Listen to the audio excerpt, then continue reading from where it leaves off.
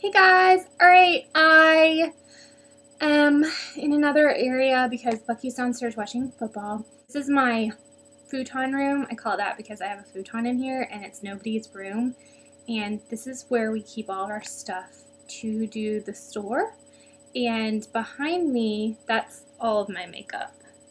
Um, just in case you're wondering, I need to do a makeup collection, but it's kind of disheveled and I'm not organized at all. So I'm hating my hair today.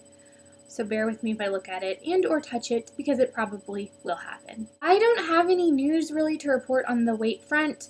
I have decided that, oh my gosh, all right, I could not open my phone.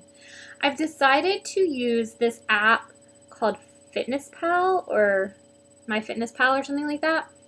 And what you do is you add all the foods that you eat throughout the day into this app and it keeps up with how many calories you've eaten and I'm trying to keep it under 1500 and also do exercise. That's my you know number one what I do to try to lose weight. I try to keep up with how many calories I have and haven't been keeping up with it and I think that's kind of hurting me because you just you don't realize how a couple chips or um, just just things add up. You just you you got to keep track of it if you really want if that's one of your major ways that you are losing weight is counting calories.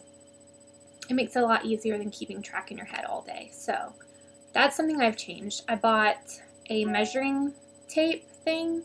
So, I'm going to I'll probably include my measurements in the description box below. If it's not up right away, I'll have it there later or whatever.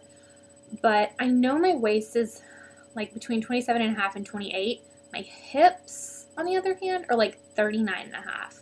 So that's not an area that I am happy with.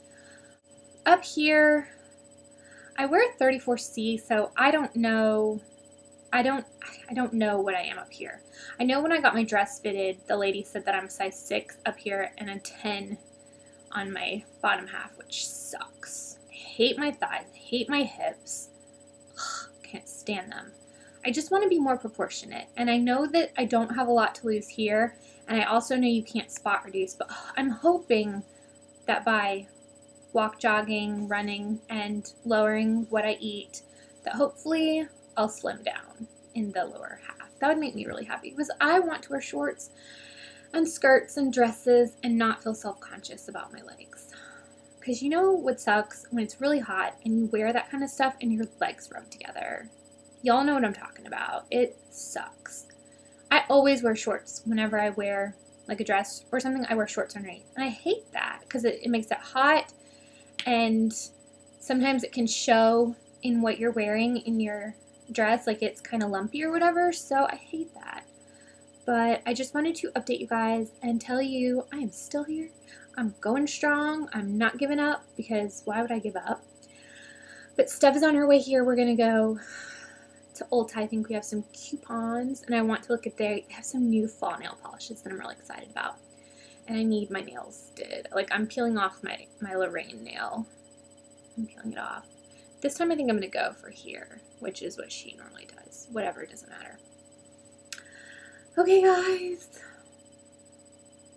I just wanted to give you a quick update and let me know if you liked when I did my follow me around vlog. I didn't get that many comments on it, so I'm kind of thinking ish on that. Um, my days aren't that exciting. I mean, I'm in my office for most of it, and if I ever get out, it's just to go get lunch and stuff. And on my way to work, and I'm away from work, and then I'm at home.